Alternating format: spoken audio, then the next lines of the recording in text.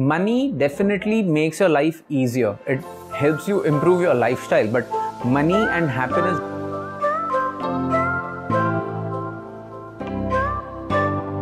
Hello and Namaste Paycheck Pros. I'm Manissh Ahuuja and this is Paycheck to Profit, India's first YouTube channel dedicated to your financial freedom. On this channel, I make videos on 4th, 14th and 24th of every month. In this month earlier, I've already made two videos where I've spoken to you about mindset of money. If you haven't seen those videos, please check this first video which is appearing on your screen right now. In this video, I talk to you about what exactly is mindset of money. And then the second video that you need to watch is right on your screen right now. In that video, I talk to you about whether your mindset is positive or negative with regards to money. In this video, I'm going to talk to you about what exactly can you do if you've realized that your mindset with regards to money is not necessarily in a positive space. What if you think about money negatively? What if thinking about money gets you really anxious and nervous? Well, I'll try to make the reply to that question as practical as possible, but I want you to understand something very fundamental. The entire concept of mindset of money is psychological. So, what you actually need to do is you need to change the way you think about money. Only when there's a shift in your mindset of money will you stop thinking about money negatively and start looking at the whole concept of money extremely positively. So how can you do that? The first thing that you definitely can do is figure out why do you need your money? How much of money do you really need? The reason why I say this is because today, when you ask anybody in general, they'll tell you that they need hundreds of crores in their bank account because they want to buy these mansions, they want to drive these luxury cars, and they want to just live a life that is full of lavish and indulgence and decadence. I'm not saying don't live a lavish life. I'm not saying don't live a luxurious life. Please live that life. You deserve every bit of it. But what I want you to realize is, is living in a mansion really the main purpose of your life? Will you never achieve satisfaction if you don't drive that luxury car which costs you what maybe a couple of crores? You need to determine what exactly does the happiness quotient with regards to money look like. Which brings me to the next point. Is money the vehicle towards your growth? Is it a benchmark towards your growth? Or is it a benchmark towards your actual happiness?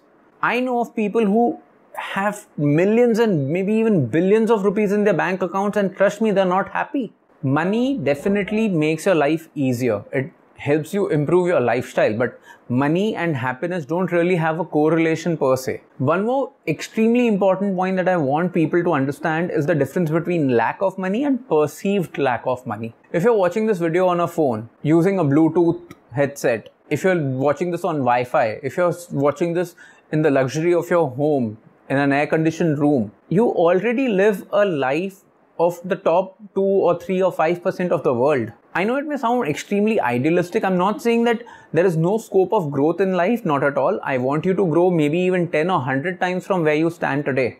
But what I'm trying to tell you is let that growth come from a need or a space of purpose, passion, and not just with the whole mindset of making more and more and more money figure out how can you actually give back to the society.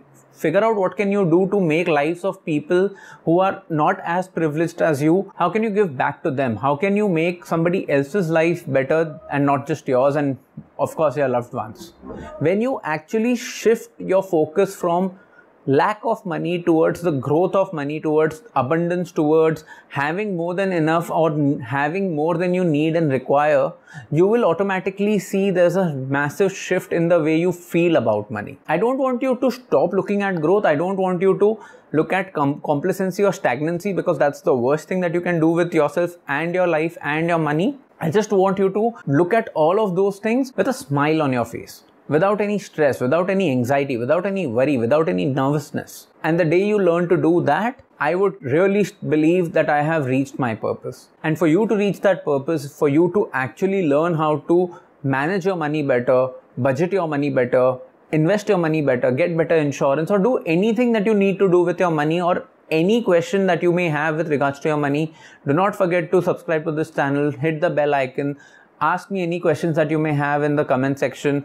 I promise to answer them all or maybe make a video reply so that it could benefit everybody who sees the video. I'm here to help you. I hope this video has added some value to your life. If you liked what you've seen, please do not forget to hit the like button and share it with all the people on your social media channels. Do share this video with people who you know personally who are always tensed and worried about money. So that's about it from me in today's video. I'll now be seeing you in the next video. Until then, please take good care of yourself and your loved ones. Keep smiling and stay happy. Kaching.